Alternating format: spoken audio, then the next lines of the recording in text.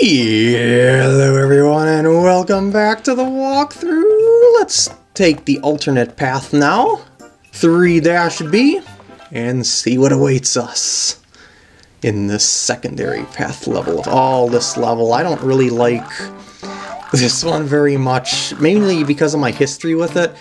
It's one of those sorts of levels where you have to trial and error your way into finding the pipes you need to get the coins in the level. It's...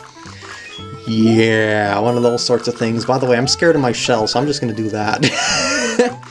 that shell, it's... It's been the bane of my existence for too long.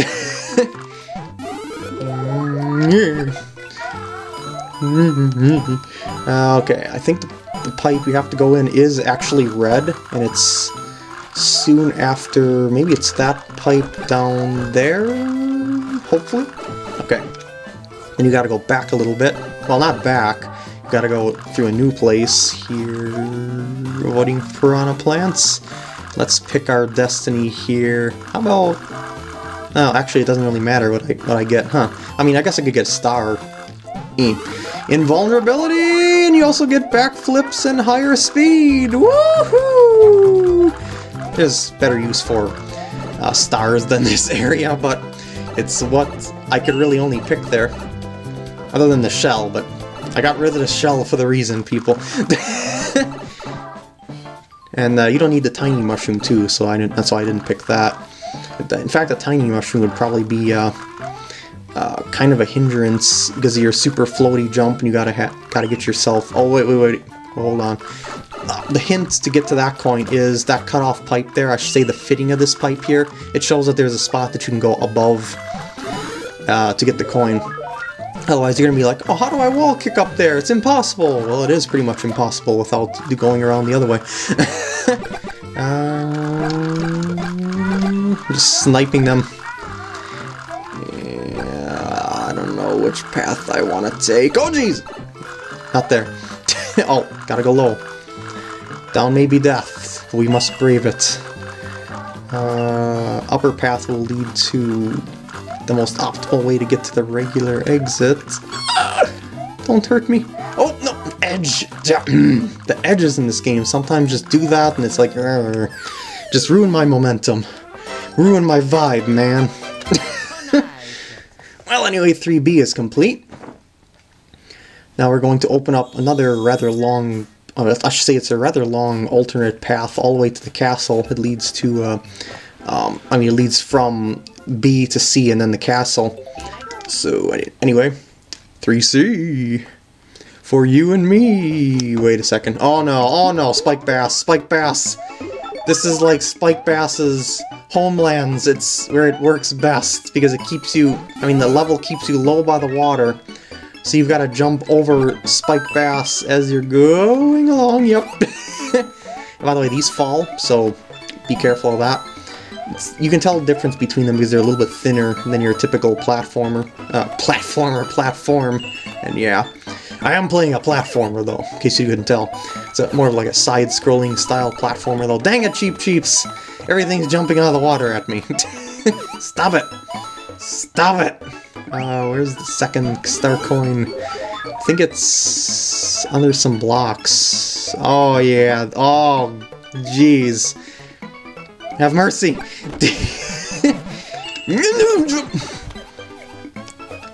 Go over my head, please. Okay. And this, hit that and run, run, run, run, run, because you want to get the star. And run, run, run some more, because you'll get extra speed to make it to this pipe. Oh, shoot. Well, you can make it in this pipe without those uh, coins turn the blocks, but it's a little bit more difficult to do so. And this leads over to the exit. Yeah, that pipe we seen uh, just a bit ago, that's where the exit is. By the way, those coins indicate that there is an invisible block there, which means we now have our sort of kind of platform to ah, get to the top of the goal pole. This could take a few tries to get the momentum correct. Yeah! Got it!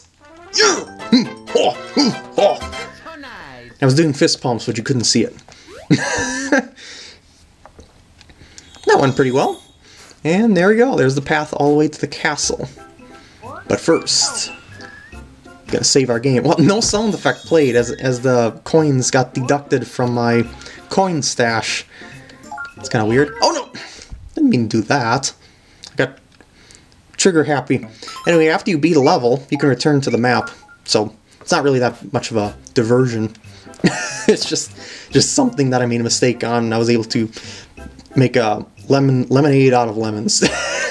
anyway, Lifehouse, let's start. See if we can get even closer to 99, or will we get Bowser instantly? Who knows? Who knows? Not bad though.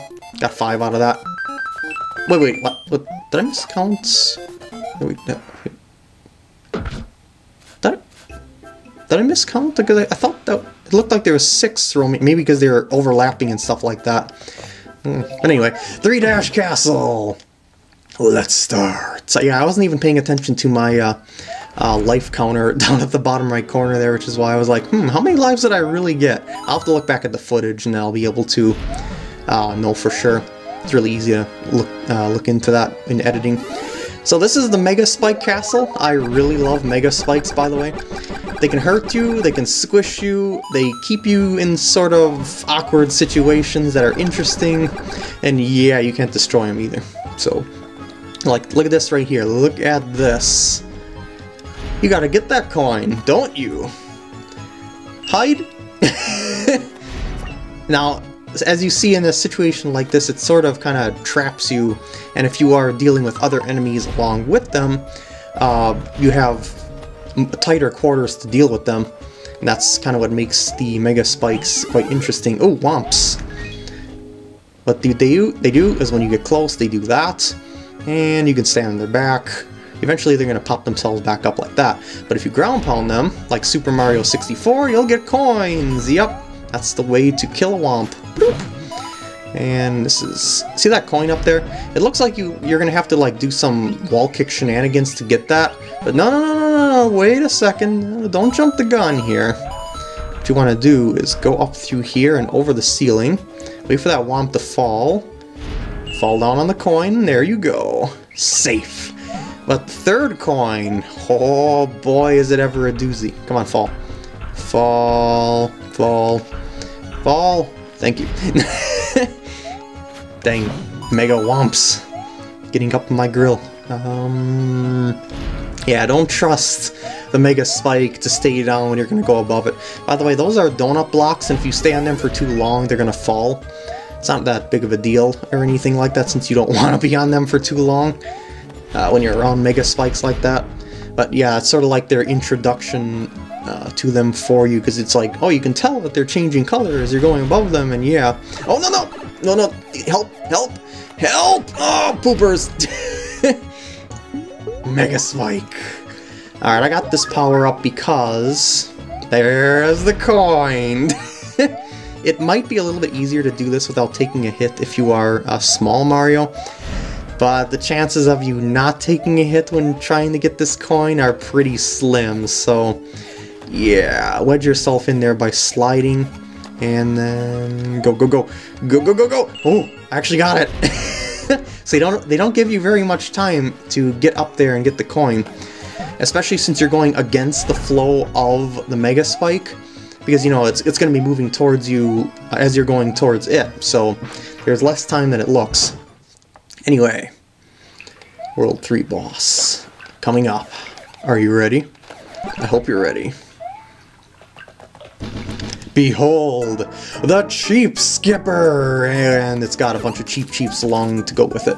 The easiest way to beat it is just to try and stay above it at, at all times. Like, just follow it around the room like that, and when it pops out of the water, um, you'll automatically hit it, because you'll be above it. Yeah.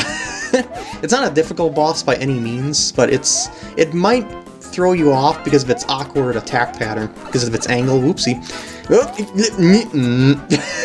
Plus the other cheep cheeps are a factor as well. Eh, I win. Give me that coin. Coin. Give me that key. Whew. I had coins on the mind. And World, World 3 is complete, as you see by that little indicator at the top of the level. uh, at the bottom screen here. Yep, yep, right there, right there. Oh, yeah, yeah, yeah, yeah, yeah. So that means the first three worlds are now complete. Aren't they beautiful? They're beautiful. Alright, let's start World 4 now. The secret world that branched off from World 2. 4-1. We are in the poison jungle. The level, um, I should say the worlds in the new Super Mario Brothers games really don't change their theme all that much. I mean, it's not, they aren't bad themes or anything like that, and there's new level designs each game, but, uh, it's still a thing of that they are they are they have the um, virtual same theme each game. I mean, they do shuffle the worlds up a little bit uh, here and there, but otherwise, yeah. Uh, we got the uh, spiders from Super Mario 64 as well. Like, mm, yeah, I forgot their names. Yeah, they're not Piders. That's uh, um, Paper Mario. Thousand Year Door. Mm. I don't remember. They're definitely not Skeeters. Yeah, I said the name in my Super Mario 64 walkthrough. Uh, maybe the name will come to me later. anyway, let's just go through the stage, and I'll probably end up putting a text box or something up that tells their name. But uh, yeah, they're they're pretty easy enemies overall because they're really really predictable. In fact, I would even be against calling them enemies since since they help you so much. Um, here's Dorrie here. If you ground pound it, it'll duck down and skim through the water a little bit faster. Um, use the spiders that I can't remember their names to get the coins. And now, right here, right here, we got a split. Ah, oh, poopers. I want to get up there. I want to get up there. No! that poison water is one hit kill, by the way. I'm not too far away from where I was, because here's Dorrie right here. So it's not that big of a deal, but still. I'm gonna do this this time. Oh yeah, strategy. oh, jeez, that was bad strategy. Well, I should say bad timing. The strategy was uh, was a good plan, but uh, the timing was bad. One more time from the top. well, that's actually the halfway point. Come on. Go down, go down. Well, you know what? I can stay down here. It doesn't really matter. But I, I just want to be up there for the coin more than anything. That's why... Oh, shoot. I changed its direction. well, looks like I'm doing it small. Anyway, I wanted to get up here. Oh, wait, wait. This isn't the, this isn't the spot where there's an invisible coin block? I thought thought this was the stage that had it. Is this? Is it this here? Or is it... Oh, shoot, shoot, shoot. Is it this up there? Where is... It's between two coins. Oh, there it is. Okay. I just knew there was an, a, an invisible coin block and the coins indicate it. This leads to, of course, as you would expect, a secret exit! Yeah! Woo! Mario clear! That's so nice. Yes, indeed. Spaghetti. And it leads all the way around there to the Lifehouse. But not going to do that now. I'm going to finish off 4-1 here. And of course, we got to start from the beginning. Don't give me a mini. Oh, more!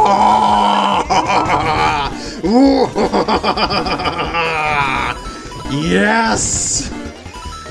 Yes! Don't fall in the poison water. It'll still one-hit kill you. and there we go. We're back to where Dorrie is. Always fun to get a, a, Mega Mushroom when you can use it in a way that doesn't destroy your path to coins, you know? ah, yes. Oh, wait, wait, wait. No, no. I'm not gonna risk it. I'm just gonna take a gentle route. I'm just gonna take the gentle scenic route. You're not gonna take any risks. Just gonna, just gonna relax under the spiders, who for some reason I can't think of their names. but that's okay. They're just letting them live on their own, just relaxing on their webs. It's a good time for them. Good time for everyone here. Just nature watching here on Dorrie, and we reach the end of our trip. And now we gotta be on the lookout for coin number three, which is actually really easy to get. It's oh no no! it's underneath here. All you have to do is kill off the spiders first, and then run across the blocks like that. If you uh, didn't kill off the spiders first, you have to try and stop yourself, which is pretty difficult to do when you're dealing with um, uh, donut blocks. And I should have waited until that last spider next to the flagpole is a bit higher to get up to the top, but eh, well, you could tell how to get the one up off that flagpole anyway. And with that, I'm gonna go to lighthouse. I mean, lifehouse, not lighthouse. Now I'm gonna confuse the lifehouses with windmills and lifehouses with lighthouses, nah, forget it. I just want to knock this off here, just to finish off the part here.